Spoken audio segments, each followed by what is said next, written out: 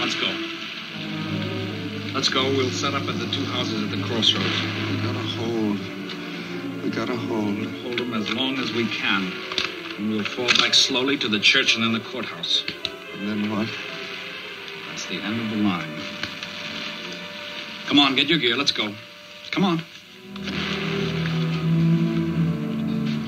Oh, you give me that. I was soldiering when you were still messing your britches. You ain't taking nothing from No, me. Captain, I don't pretend to know all the answers. I know you're not going to find them in there. Look, Lieutenant, just give me that. You think you can find your courage in a bottle? Lieutenant, you I- think you can buy your guts for a dollar? Give me that. What? Who do you think you are? You're not just careless or a coward, you're a criminal. A criminal responsible for the murder of at least 19 men. Give me that. There. Got every man in this outfit thinking that the U.S. Army is a mockery. Well, it's not. Just this tiny, lousy part of it. Well, from here on in, it's going to be different. Oh, I'd, I'd, I'd like to go out there and stop one. But I, I haven't even got the guts to.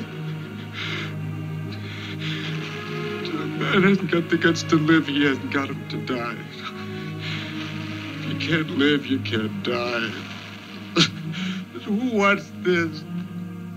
I didn't ask for this. I'm different, Woodruff. I'm scared. We're all scared, Captain. I'm scared of. I'm scared of you.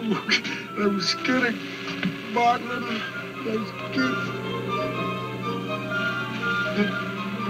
I'm scared of my father. My daddy whopped me.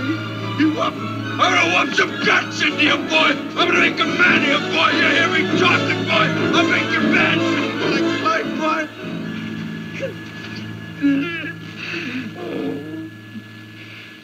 And I thought that someday, someday, I woke up one morning. I was 30 years old. I knew that little old was never gonna come. Never gonna be no someday.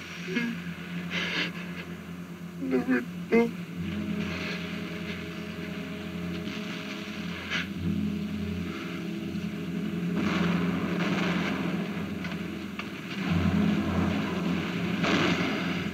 You stay here, Captain. I'll take care of things.